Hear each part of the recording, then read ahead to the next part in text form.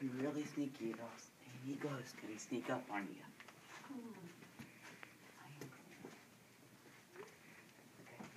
Oh, hey man, your shoe's untied. You might wanna check that out. That's bad.